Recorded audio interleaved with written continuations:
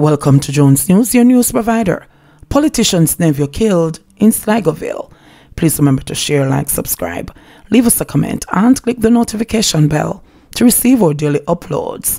Hi guys, welcome back. It's the girl MJ. Now, before we go into the major story, I hope on arty. I hope everybody doing all right. Hellshire man reported missing.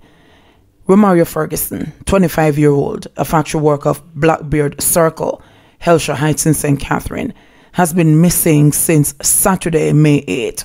According to the Hellshire police, Ferguson was last seen about 12:30 p.m. after he left home to visit a female companion and has not been heard from since then.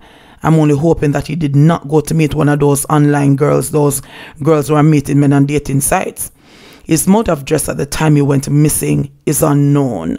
The Hellshire police is asking anyone who have seen or know where Romario Ferguson is to contact them at 876 424 6758 the police 119 emergency number or the nearest police station. We know a lot of times all these stories always end, but I'm keeping my fingers crossed and praying for the family that they'll get some good news about this gentleman very soon. Now, about a day or two ago, I had posted three pictures of three men that were wanted by the police, and I can now inform you that one of the men has turned himself in, Morris Hussein Campbell, who was featured as wanted by the police because the JCF now is now posting a wanted Wednesdays where they post photos of men that are wanted.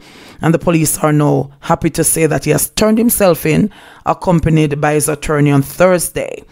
So it was reported wanted on Wednesday, and of course him catching Fred because them no one dead. Him turning himself Thursday.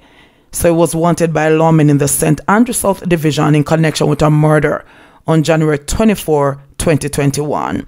And I can happily report that he has now, Campbell has now turned himself in. And finally, politicians never killed in Sligoville. The police has confirmed the gun murder of a man who is from Linstead St. Catherine.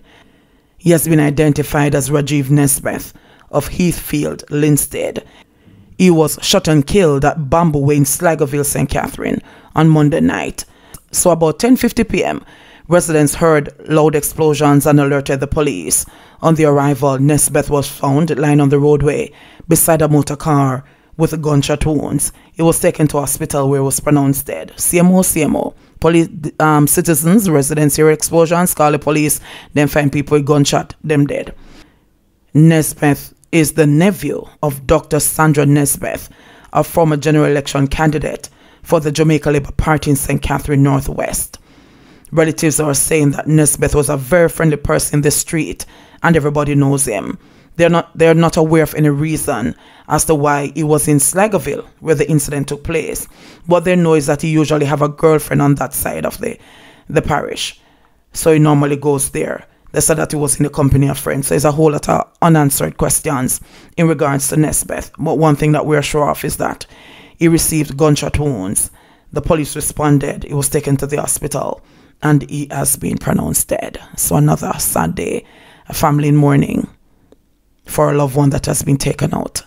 So that is all for today, guys. Make sure so to take care of yourself and keep safe. Enough love, respect, and blessings. Jones News, your news provider. Please remember to share, like, subscribe, leave us a comment, and click the notification bell to receive our daily uploads.